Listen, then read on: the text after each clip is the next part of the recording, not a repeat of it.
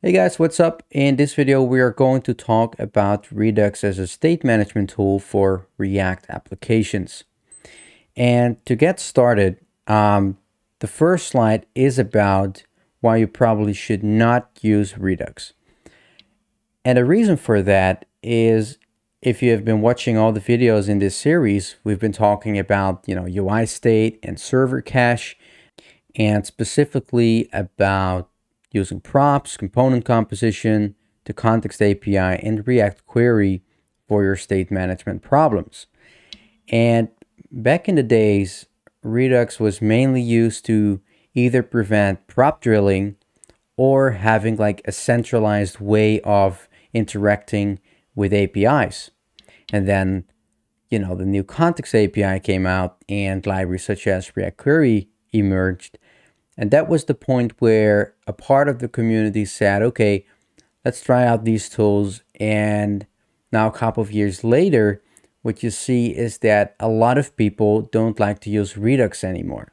And maybe for good reasons, because if you're using Redux to prevent passing props down in the component tree or use it to solely like interact with an API, then I honestly do believe that component composition and context API is much better for the prop drilling problem and React Query is just, you know, totally the better tool to interact with APIs.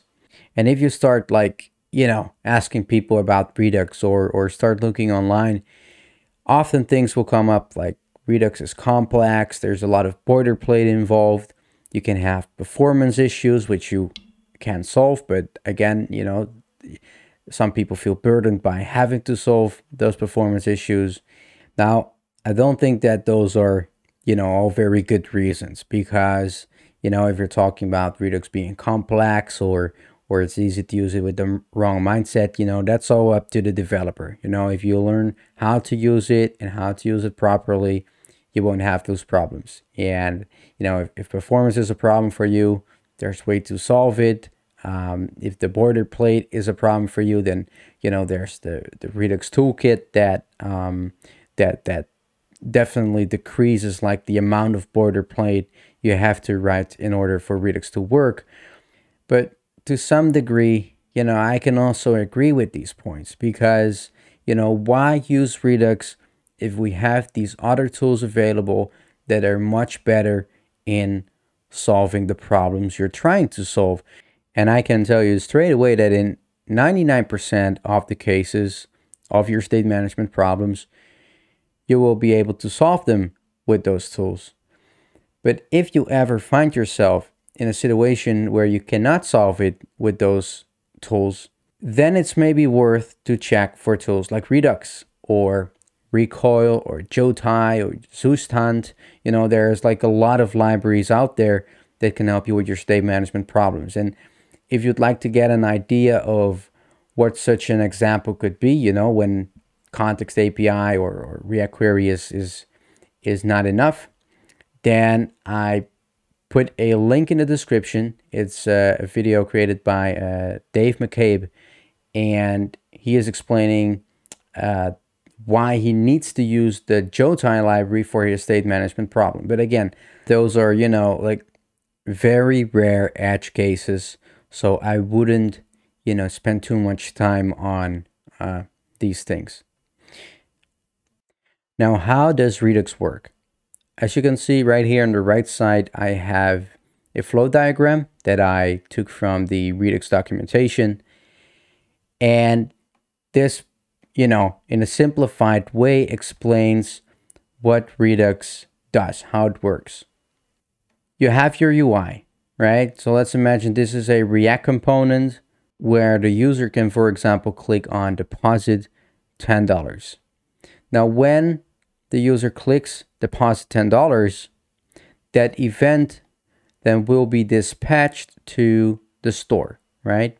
And this is somewhat similar to what we've done in the context API. It has a type with, for example, a string deposit and a payload of 10 and then it will be sent to the store and that store is containing a root reducer which contains other reducers. And you can see those reducers as what we've done with the context API, where you have like your switch uh, statement with uh, various cases, and then you know you might uh, change things based on the payload, or uh, you might increase values, or you might set them to a certain value, and so on. Right? It's up to you what you do in those reducers. But what then will happen is that the reducer will say, okay, the state currently is zero dollars. But then, because we are dispatching that action with a deposit of $10, will cause the store to have now a value of $10. And then that state, which is being used by our React component, will then be updated and will render $10 instead of $0. That's kind of like the loop you're seeing right here. And right here I have a nice GIF. So you see, let's imagine the user clicks on deposit. That event is then dispatched as an action with a type of deposit and a payload of 10. And you will see that then the state is updated and thus our React component gets updated as well.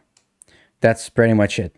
And now you might wonder, okay, you're talking about like why we probably should not use Redux, but why are you explaining it then? Because in the next video, we're going to take a look at how we can use Redux as a state management tool.